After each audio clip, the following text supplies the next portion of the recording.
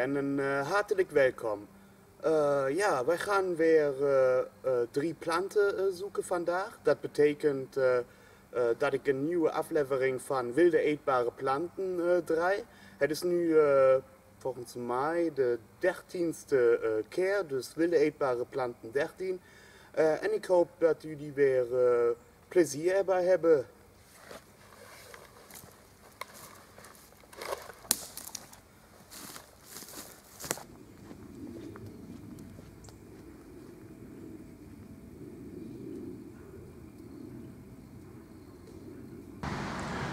Ja, en de eerste plant uh, voor vandaag uh, is een boom. dat is een uh, eetbare kastanje. de paardenkastanje die zie je meestal nog veel vaker dan de eetbare. Um, maar ja, deze zijn makkelijk van elkaar te onderscheiden. doordat ja, het omhulzen zeg maar, bij de eetbare kastanje heel fijne heel spitse uh, stekels uh, heeft en bij de paardenkastanje uh, nou, die heeft maar enkele um, minder grote en ook minder sterke stekels dan de eetbare. Ja, en hier liggen ze ook overal op de grond en kan je ze makkelijk verzamelen. Ja, het uh, verzamelen en bereiden uh, van eetbare kastanjes vraagt altijd een beetje moeite vraagt altijd een beetje moeite en uh, tijd. Maar uh, ja, ze zijn zo lekker uh, dat ik vind dat de moeite wel loont.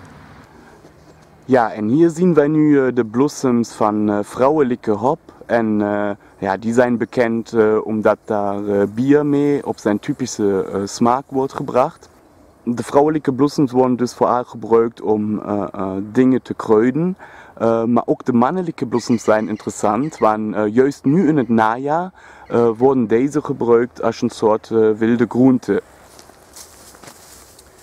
Ja, echter is het mij niet gelukt hier een mannelijke plant onder te vinden. Maar wat misschien nog interessant is, is dat de wortels van, ehm, van hop ook te gebruiken zijn. En nu in het najaar tenminste.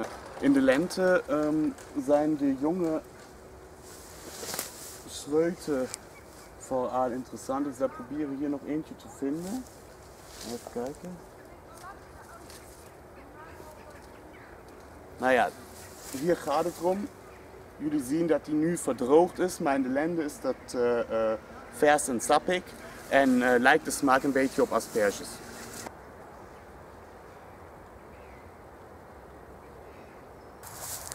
Ja, die mensen die wilde eetbare uh, plantenafleveringen al uh, vaker hebben gezien, die weten dat ik uh, ja, juist op deze moment in het video altijd iets vertel over het wildplukken, over mij, over nou wat dan ook.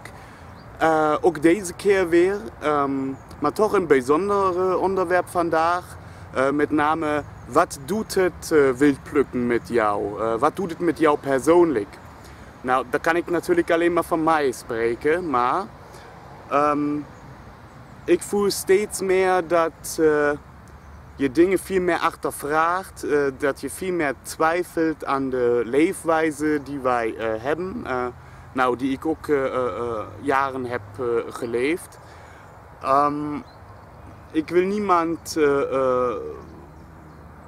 ik wil niemand deze ervaringen vooraf laten maken doordat ik ze vertel.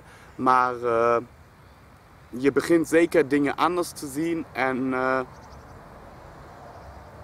en ook begrijp je snel hoe alles in elkaar zit, uh, waar de fouten zitten en hoe zo wij het ook in deze tijd niet gedaan krijgen om met de natuur te leven in plaats van alles van de natuur te nemen en het ja, tot geld te maken. Ik wil door mijn uh, enthousiasme mensen bewegen om ook de natuur in te gaan, de mooiheid, de leukheid van de natuur te zien, om automatisch ook aan het denken te komen. En steeds vaker hoor ik door jullie commentaren, door jullie belletjes, door jullie e-mails, wat dan ook, ehm, dat het mij steeds meer lukt. En ja, dank jullie allemaal daarvoor. En blijf wil plukken. Ja, maar één plant hebben wij nog voor vandaag. Ik ben benieuwd welke het is. Ja mensen, en wat hier naast mij en achter mij zo mooi geel in de bloei staat, is topinambour. Uh, topinambour wordt ook aardpeer uh, genoemd. En uh, bij die naam weet je ook meteen wat voor ons het waardevolste is als het erom gaat iets eetbaars uit de natuur te vinden. en daar heb ik het over de knol. deze is oogstbaar ongeveer midden oktober, dus in het najaar. En bevat veel suiker. Um, ook de bloesems van uh, topinambour zijn eetbaar. Deze gebruik je als decoratie in salades of ook als decoratie in ja, hartige hoofdgerechten. De bladeren zijn ook eetbaar, mits ze jong zijn. Ik vind ze niet bijzonder smakelijk, maar goed. jonge stengels worden soms ook als een soort asperges gegeten. Uh, deze zijn nu niet meer jong, dus uh, ook daarvoor niet meer te gebruiken.